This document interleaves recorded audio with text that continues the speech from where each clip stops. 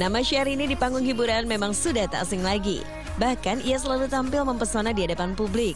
Tak heran dalam berbagai kesempatan wanita kelahiran Bogor itu selalu berhasil menyita perhatian publik lewat penampilannya. Salah satunya di bagian alis wajahnya. Alis nampaknya menjadi hal utama yang sangat diperhatikan Syahrini.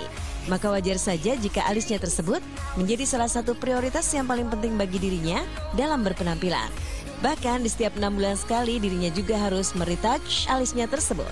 berbenturan dengan uh, schedule dan kita yang mau bahas setiap harinya kan butuh hal-hal yang uh, menunjang kecantikan seperti shading alis. So aku pakai shading alis karena biar mempersingkat pekerjaanku bermakeup. Kadang kan aku makeup banyak kan makeup sendiri sih ya. Kalau lagi capek kayak gini misalkan dibantu sama makeup artis tapi banyak aku makeup sendiri karena memang juga uh, mempersingkat segala sesuatunya. Bangun bobo cantik, di mana juga cantik. Jadi alis udah jadi tuh bingkai muka kan. Jadi kalau aku bingkai mukanya udah jadi tinggal bikin mata kan. Dan kalau ini nggak terlalu lah. Ini shading.